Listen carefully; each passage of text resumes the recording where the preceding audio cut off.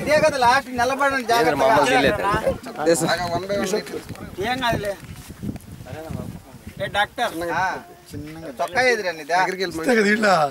అడిగిపోయింది అదే పన్నెండు చొక్కా కూడా? ఇంట్లో పెట్టుకోపోయింది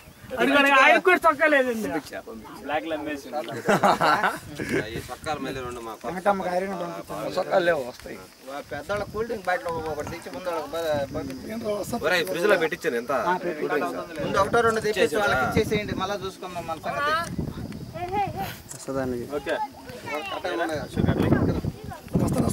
ఒరే ఫైన్ల కన్నా చిన్నపిల్లకాయలు తీసుకొని వచ్చి చేతులు ఇప్పకూడదా?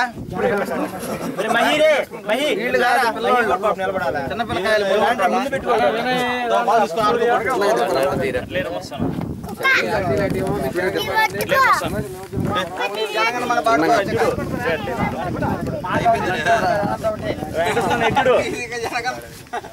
బాబాయ్